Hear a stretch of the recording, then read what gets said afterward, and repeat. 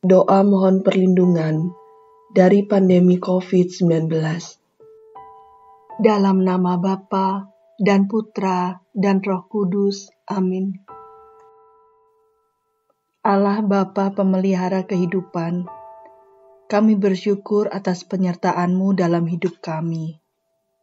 Lindungilah dan peliharalah kami, agar segera terbebaskan dari pandemi COVID-19 ini anugerahkanlah kesembuhan bagi semua yang terjangkit.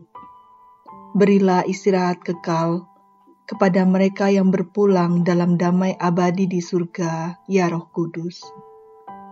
Kuatkanlah para tenaga medis, para dokter dan perawat, para tenaga non-medis, para relawan, dan saudara yang merawat pasien, agar mereka tabah dan tegar dalam membantu sesama.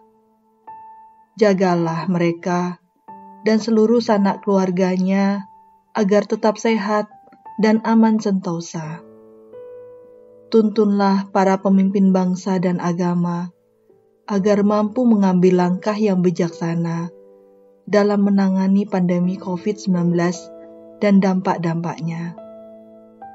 Semoga mereka mampu melibatkan seluruh warga masyarakat untuk bersatu padu, meningkatkan kepedulian dan solidaritas demi hidup bersama yang sejahtera. Dengan pengantaraan Kristus, Guru dan Tuhan kami. Amin. Bapa kami yang ada di surga, dimuliakanlah namamu, datanglah kerajaanmu, jadilah kehendakmu, di atas bumi seperti di dalam surga.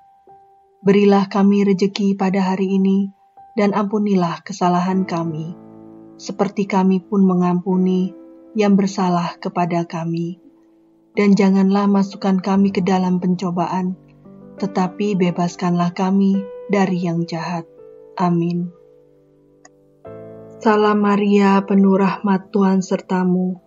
Terpujilah engkau di antara wanita, dan terpujilah buah tubuhmu, Yesus. Santa Maria Bunda Allah, doakanlah kami yang berdosa ini, sekarang dan waktu kami mati. Amin. Kemuliaan kepada Bapa dan Putra dan Roh Kudus, seperti pada permulaan, sekarang, selalu, dan sepanjang segala abad. Amin. Dalam nama Bapa dan Putra dan Roh Kudus. Amin.